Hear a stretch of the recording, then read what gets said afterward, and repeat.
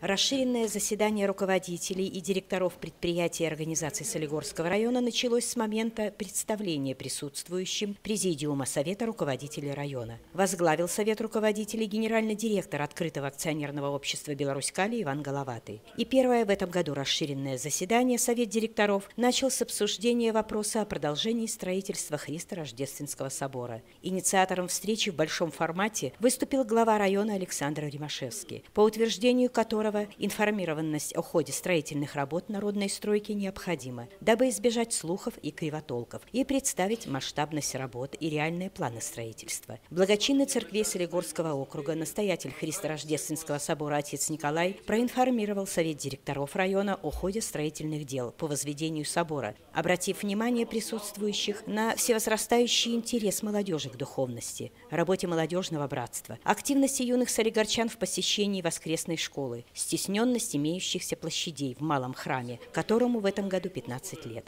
Относительно же строительных работ за период времени с 2012 по 2014 годы освоено на строительном комплексе чуть более 16,5 миллиардов рублей. В 2014 году более 17,5 миллиардов, из которых 5 – спонсорская помощь открытого акционерного общества «Беларусь-Калий». В ходе проведения ежемесячных субботников было собрано 2 миллиарда 545 миллионов 712 тысяч рублей. В месяц от трудовых коллективов на счет поступает 212 миллионов 142 тысячи. Более половины этой суммы это отчисление солигорских наших калийщиков. Подытожил разговор председатель Совета руководителей Солигорского района, генеральный директор открытого акционерного общества «Беларусь-Кали» Иван Головатый. Общая стоимость строительства в текущих ценах на 01.01.2015 составляет э, практически 200 миллиардов рублей. В том числе первый пусковой комплекс 136,7 миллиардов рублей. Выполнено с начала строительства 24,4 миллиарда рублей. До окончания строительства всего комплекса 175 миллиардов необходимо, первого пускового 112 миллиардов. Поэтому, конечно, такими же темпами, по 2 миллиарда и так далее, то не только к 60-летию, но, наверное, к 70-летию вряд ли можем успеть.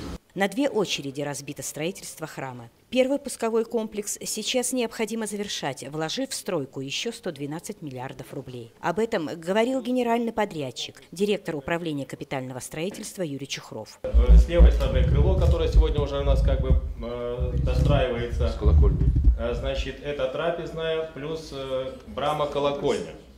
Плюс в первый пусковой комплекс входит ограждение по всему периметру, и гостевые стоянки, плюс благоустройство. Это первый пусковой комплекс. Второй пусковой комплекс, скажем так, на уровне 40 миллиардов, это правое крыло для вас.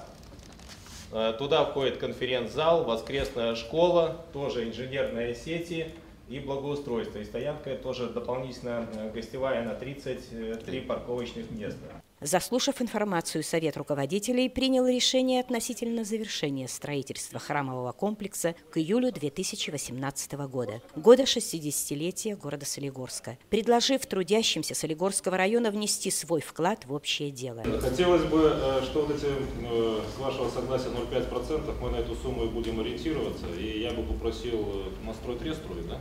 Да. Сергей Александрович, чтобы разработали график, с учетом срока окончания строительства, чтобы мы могли ориентироваться. Если все мы вот так сделаем 0,5%, то у нас получится сколько в месяц? 2 миллиарда 193. 2 миллиарда 193. Умножить на 12 это 24 миллиарда 25. Умножить на 3 года это уже существенно. Плюс спонсорская помощь. И тогда реально, тогда реально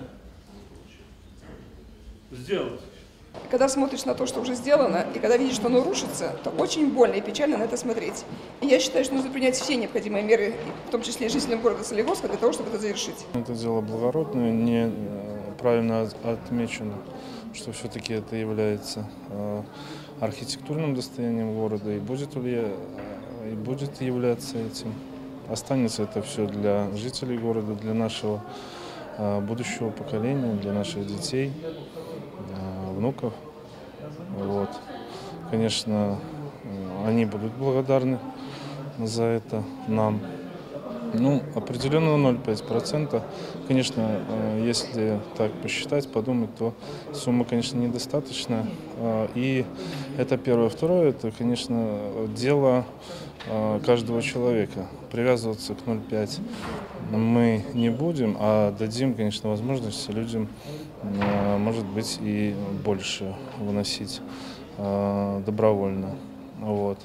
Поэтому я считаю, это нужное дело, благородное и обязательное. Конечно, тоже поддерживаю, потому что все-таки проблемы нравственности, они существуют, и, к сожалению, вот это какая-то деградация общества, она идет. И, наверное, да, мы в конечном итоге должны прийти в храм, и он должен быть в городе. И наши дети и наши внуки эту красоту должны увидеть. На расширенном заседании руководителей и директоров Солигорского района выступил и епископ Слуцкий и Солигорский Антоний. В нашем кафедральном городе Солигорске ведется грандиозное строительство собора. И это строительство можно назвать одной из главных строек в масштабе не только Беларуси, но и всей Русской Православной Церкви.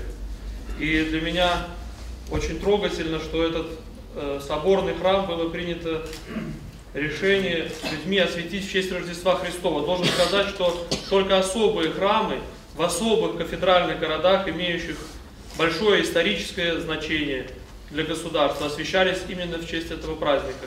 Напомню всем вам о том, что кафедральный соборный храм Христа Спасителя в Москве главный собор Русской Церкви освящен как раз-таки в честь Рождества Христова.